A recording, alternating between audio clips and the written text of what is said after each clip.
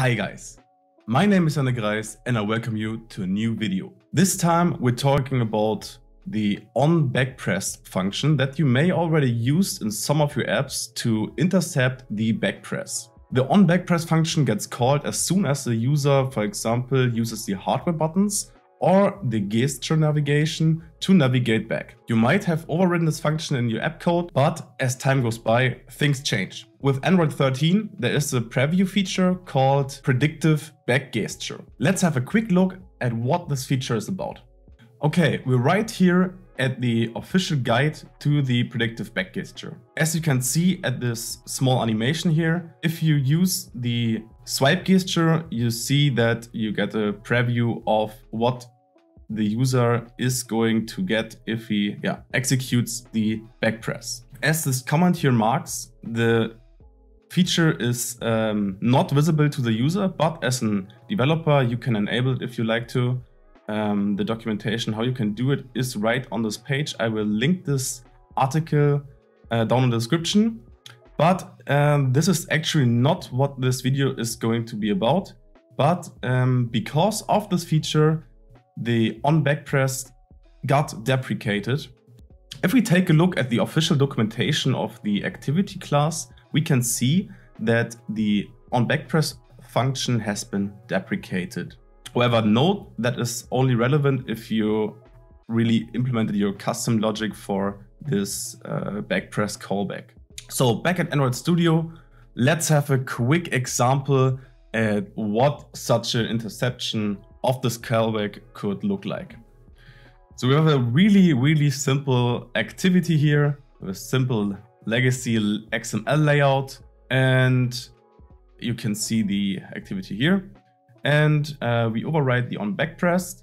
And if I hover above the uh, function, you can see the declaration overrides deprecated members what we are going to do if um, the user hits the back press button or the swipe gesture is that we just show a simple alert dialog and ask if the user really wants to close the app. If he confirms, then we just call finish the function of the activity. And if I now hit the back gesture, we get this alert dialog. And if we confirm, the app closes. So now that we saw the legacy way, let's take a look at what we need to do in order to migrate this deprecated code. So, but before we actually start, please make sure to go into your app level build Gradle file and include the following activity KTX dependency. I think you need at least alpha 05 and at the time of this video, RC02 is the recent version. If we add this dependency, we will already have the code in our activity um, that will finally also support the predictive back gesture. Now that we have that, let's go back to the sample activity and start with the migration. We know that the on backpress function is deprecated, so we need another solution, an alternative. And luckily we can use a very similar code. We will declare a new variable and call it on backpress callback. And now we just use an object and use the on backpress callback as super type. And here we can define if the callback is actually enabled. So if you want to, you could declare some kind of condition to dynamically enable or disable this callback. I just set it to true. And now I also need to implement the members, which is only the handle on backpress function. And that is um, the exact equivalent to the on backpress function. So now, because we want to have the same behavior, I just recall also the show app closing dialog. Okay, so I can remove the deprecated code.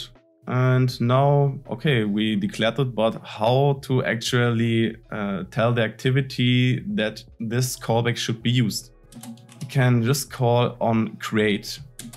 And now I will use the on backpress dispatcher.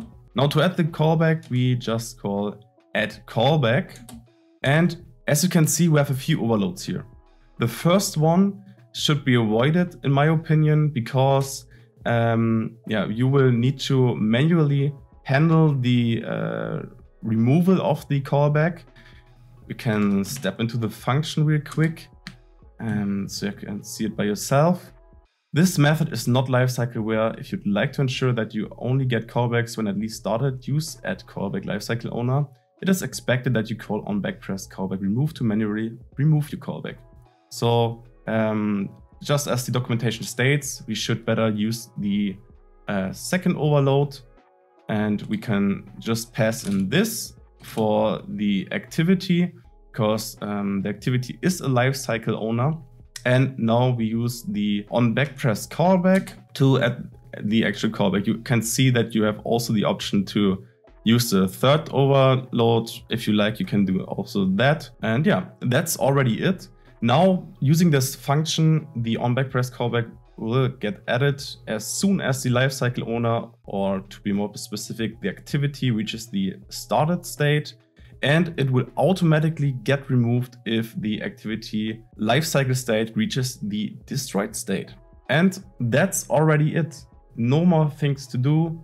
Very simple migration.